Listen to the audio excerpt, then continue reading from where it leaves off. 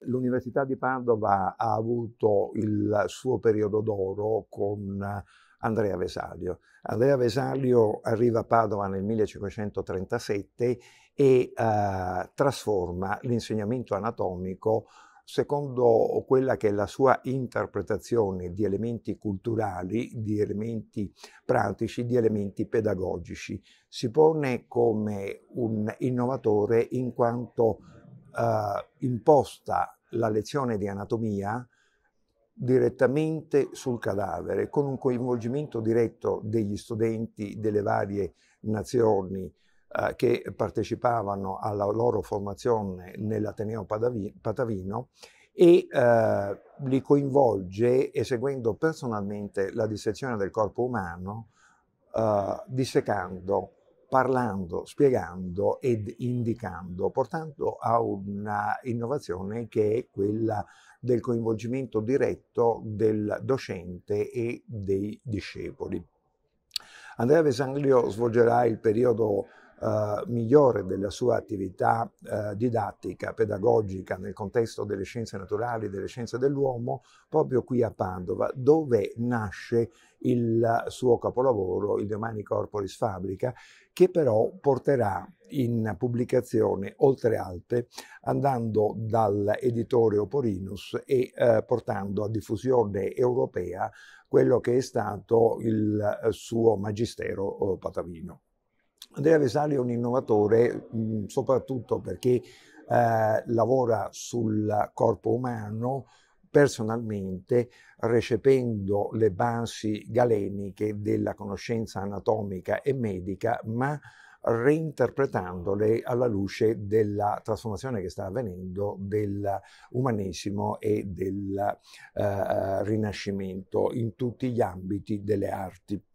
Andrea Vesanglio è il primo dei grandi nomi che caratterizzano l'età d'oro della, dell'anatomia padovana. Ci saranno uh, Rialdo Colombo, Gabriele Falloppio, ma ritengo che sia particolarmente significativo il quarto dei grandi anatomisti dell'epoca d'oro, Fabrizio d'Acqua Pendente. Fabrizio d'Acqua Pendente è il professore di anatomia che più a lungo uh, insegnerà nel passaggio dal 1580 fino all'epoca della sua morte nel 1619 ed infatti ricorrono quest'anno i 400 anni dalla sua scomparsa. Fabrizio d'Acquapendente eh, imposta il suo magistero con un insegnamento pratico in un teatro anatomico che diventa proprio polo di attrazione della componente studentesca dell'Ateneo e d'altra parte incomincia a preparare un'opera grandiosa che invece scomparirà per numerosi secoli. Le tabule picte furono riscoperte da Sterzi all'inizio del 1900 e eh, le tabule picte in folio rappresenteranno l'edizione a colori di un'anatomia che eh, si arricchisce di tutte quelle componenti naturalistiche e di interpretazione artistica attuale. Uh, L'Ateneo di Padova nella sua storia ha quindi questi grandi anatomisti che uh, hanno costituito attrazione per uh, popolazioni studentesche da tutta Europa.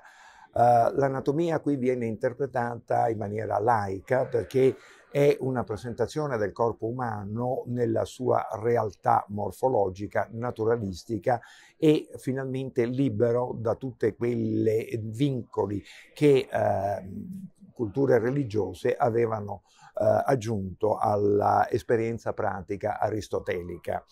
Uh, per ciò che riguarda la continuazione di questa uh, attività mh, anatomica di formazione dei medici di questo Ateneo, la figura di maggior prestigio che seguirà è Giovan Battista Morgagni. Giovan Battista Morgagni dal 1711 al 1771 per un periodo lunghissimo fa quel collegamento tra anatomia e funzione, tra morfologia e eh, alterazione di funzione che sarà poi il germe che darà origine all'anatomia patologica. Le basi morfologiche della sintomatologia eh, clinica che poi sarà quella che potrà realmente essere rilevata dal medico, dal clinico che deve porre diagnosi.